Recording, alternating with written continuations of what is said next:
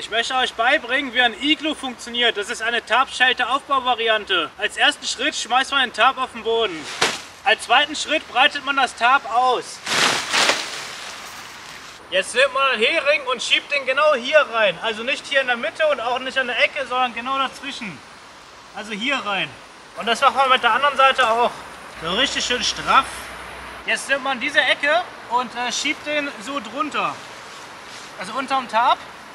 Und ähm, diese Ecke, die spaltet man dann auch ab. Mit einem Hering.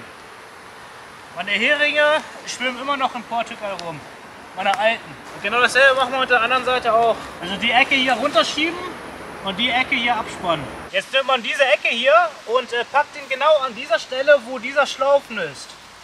Also ungefähr so. Genau. Und den spart man hier ab. Und das machen wir mit dieser Ecke auch, dass man den hier an der Stelle abspannt, wo die Mitte hier vorne ist. Genau, schön, schön fest. Jetzt nimmt man einen Stock, in meinem Fall so einen Tracking-Stock, weil den hier, den kann ich so richtig empfehlen für so eine Aufbauvariante.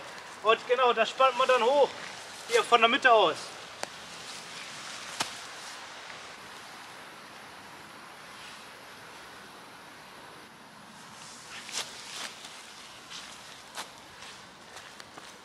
Jawohl, das sieht voll cool aus. Es ist fast fertig. Es ist soweit. Jetzt nimmt ihr einen Paracord und äh, spannt dann hier diese Ecke hier ab. Also nicht der hier in der Mitte, sondern diese hier. Genau. Und das Ding, das spannt ihr hier auf diesen äh, hinteren Hering rein. Genau. Und genau dasselbe macht ihr mit der anderen Seite auch. Ich wechsle mal die Perspektive. Genau, Paracord. Und dann diese Schlaufe hier abspannen.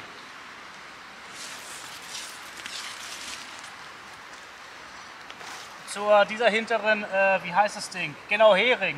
Fertig ist die Tarp-Aufbauvariante. Das ist Iglu oder Tarp-Tent oder wie, wie man das sonst nennt. Genau. So heißt das. Das ist, das ist diese Tarp-Auf-Variante. Ich werde einmal um den Tarp rumlaufen, damit ich euch alle Ecken zeigen kann. Wie ich das hier festgespannt habe. Damit ihr das sehen könnt mit Augen über den Bildschirm.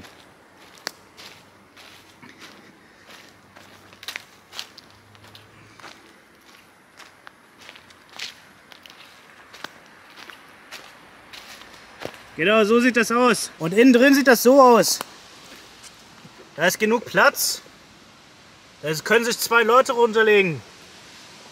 Diese Tarp-Shelter-Aufbau-Variante ist voll cool. Die sieht zwar kompliziert aus, aber das ist nicht so kompliziert. Das war ganz einfach, das aufzubauen, aber auch wenn das ein bisschen Zeit gekostet hat, aber trotzdem ist das eine voll coole Aufbauvariante. Die sieht ähnlich aus wie so ein Zelt und ähm, die, ist, die ist gut gegen Sturm und Regen und so. Also nur, nur diese kleine Öffnung ist vorhanden, aber sonst nicht. Das ist voll cool.